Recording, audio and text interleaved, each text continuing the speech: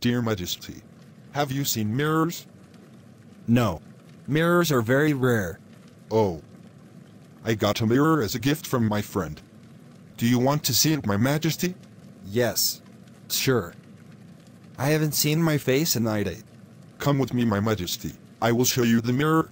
Your majesty, look into the mirror and see your face. Hem. Your majesty. Why are you crying? It was only today that I saw my face clearly.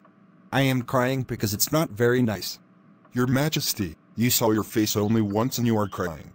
We see your face every day. How often should we cry?